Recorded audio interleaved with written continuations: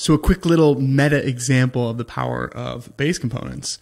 I just received some pretty good feedback around improving the CTA to click to watch the video. So it's super obvious that you click on this link versus the container or the icon, for instance. And so because I've set up the Figma Academy curriculum to use all of these components, I really don't have that many sources of truth.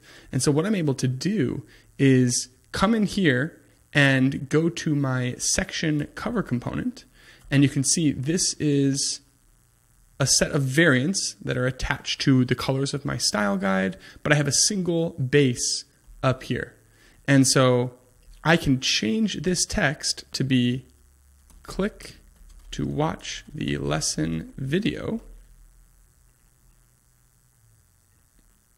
Hit publish.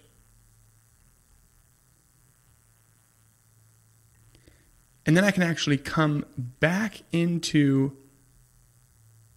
this design systems file here.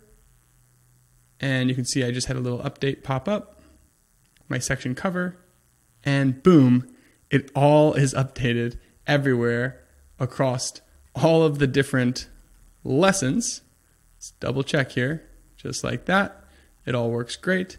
And then I can simply come into the lessons and update each one individually. And I can make an update to about, I don't even know, 50 pieces of text in a minute.